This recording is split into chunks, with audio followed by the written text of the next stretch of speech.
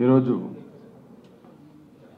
నాకైతే చాలా చాలా సంతోషం. మై మై బేబీ నా బేబీ నా శ్రీలేఖ చిన్నప్పటి నుండి తను ఎదుగుదలని చూసిన వాడిని. ఎంతో కష్టపడి ఒక నిష్టతో భక్తితో శ్రద్ధతోటి ఆవిడ సంగీతాన్ని అభ్యసించింది. అది నేనే సాక్షి దానికి. అంత చక్కగా ప్రతిరోజు డే అండ్ నైట్ అది ఎంత సాధన అంటే ఎవరు చేసి ఉంటారు అంత సాధన. వారి తండ్రి గారికి చెప్పాలి ముఖ్యంగా అంత ఆవిడని సంగీతంలో ముఖ్యంగా ఆవిడని మంచి ఒక హైలీ టాలెంటెడ్ మ్యూజిషియన్గా చేయాలని ఎంతో గొప్పగా సాధన చేయించారు.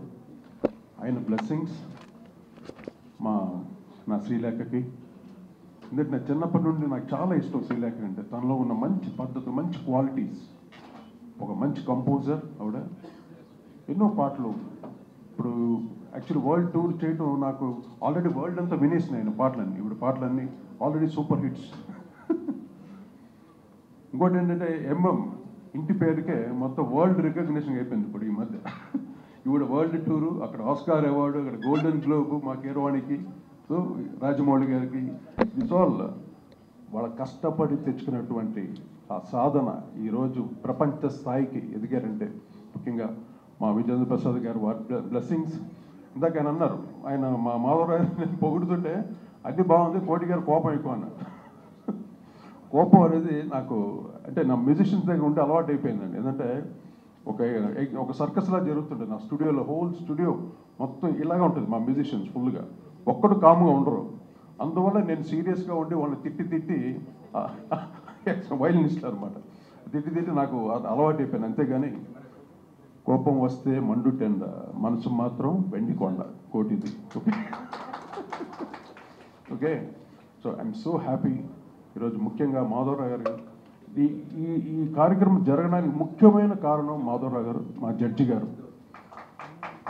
అంత పెద్ద జడ్జిగా ఉండి ఆయన జడ్జిమెంట్ ఎలా ఇస్తారో నాకు తెలియదు కానీ ఆయన ఇచ్చేటప్పుడు కూడా ఇలా మాట్లాడతారు అందరూ అంత ఇంప్రెసివ్గా జడ్జిమెంట్ కూడా అంత ఇంప్రెసివ్గా ఉంటుంది సార్ మీ జడ్జిమెంట్ నేను చూడలేదు సార్. ఈసారి చూడాలి మేము.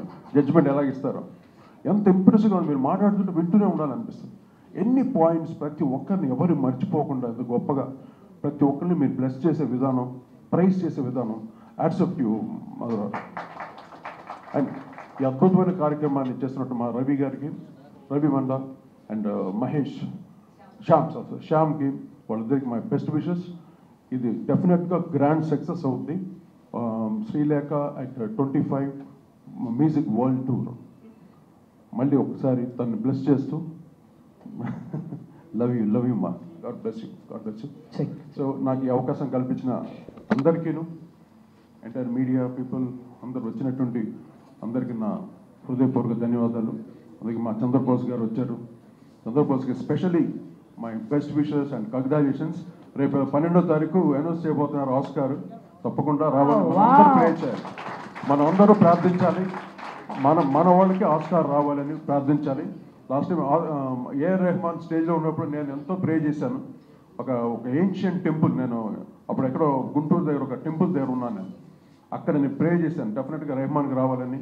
ఈసారి మా కీరవాణికి మా అందరు మొత్తం మా బ్యాచ్ అందరికీ రావాలని మనస్ఫూర్తిగా మనం అందరూ ప్రే చేసి నెక్స్ట్ ఆస్కార్ వచ్చిన తర్వాత మా బోస్కి మా కీరవాణికి అందరికీ బ్రహ్మాండ సన్మానం మనం చేసుకోవాలి అందరు ఇక్కడ thank you all the very best once again నాకు అవకాశం కల్పించినందుకు అందరికీ నా ధన్యవాదాలు. Thank you very much God bless you all